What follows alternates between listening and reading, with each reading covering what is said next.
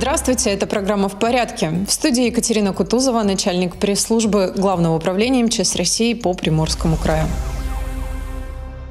Статистика пожаров за минувшую праздничную неделю.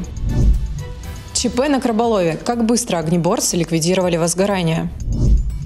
Безопасность при выходе в море на маломерных судах. О чем необходимо помнить.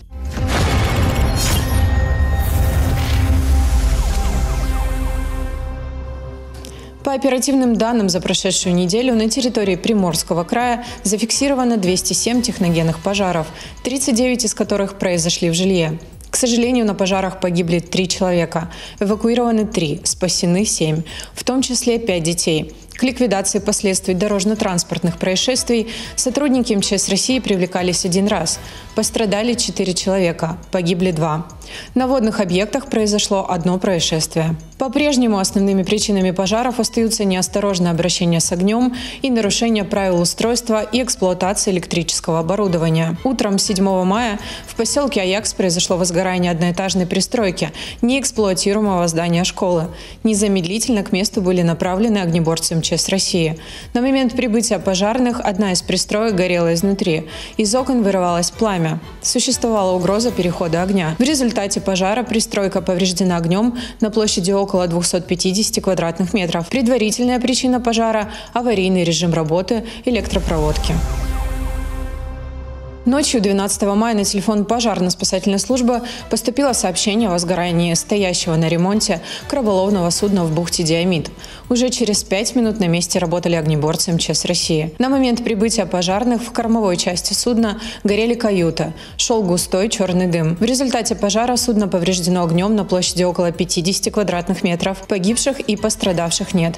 Причина пожара и ущерб устанавливаются. Дознаватели МЧС России проводят проверку по факту пожара. Сотрудники Сотрудники Государственной инспекции по маломерным судам МЧС России обращают особое внимание всех судоводителей на то, что перед каждым выходом в море необходимо проверять исправность судна и его укомплектованность необходимыми средствами связи и спасения, а также наличие удостоверения на право управления маломерным судном и судовой билет. Главное управление МЧС России по Приморскому краю напоминает о безопасности. До выхода в плавание ознакомьтесь с прогнозом погоды и условиями на маршруте движения. Перед выходом проверьте исправность судна и укомплектованность необходимыми спасательными средствами. Сообщите родственникам информацию о вашем маршруте движения, запланированном месте нахождения и времени прибытия. Проведите краткий инструктаж по технике безопасности с пассажирами. Детям укажите на недопущение шалости и баловства.